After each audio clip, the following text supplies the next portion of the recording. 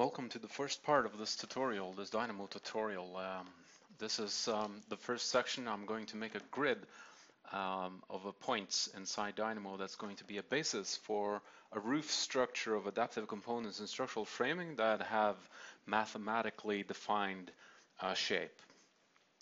So after starting Dynamo, um, I'm going to introduce a couple of integer sliders.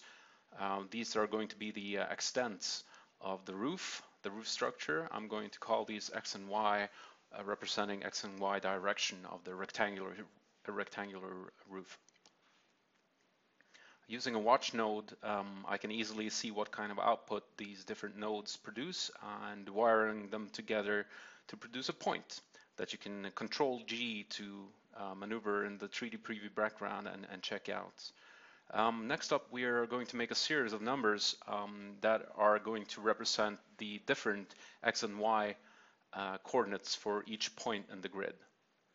Uh, you can see I use a code block um, to, to do this and um, syntax that um, I'm going to use several times in these tutorials.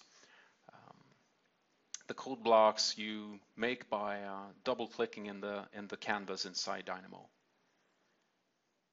Right-clicking on the point by coordinates and changing lacing to cross product will produce your uh, final grid of points.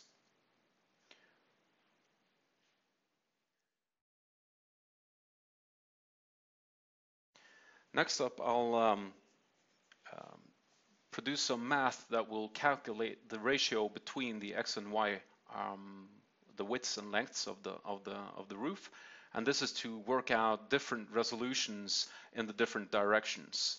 Uh, this way, um, you can have uh, a, an equal size um, uh, between the points in, in each direction.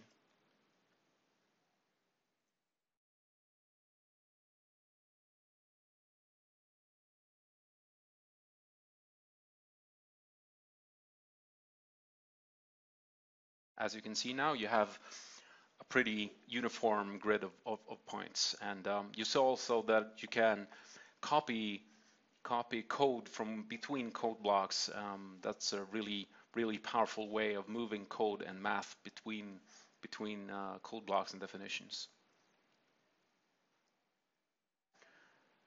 Flexing your parameters, you should be able to now change the size and, and spacing of the grid.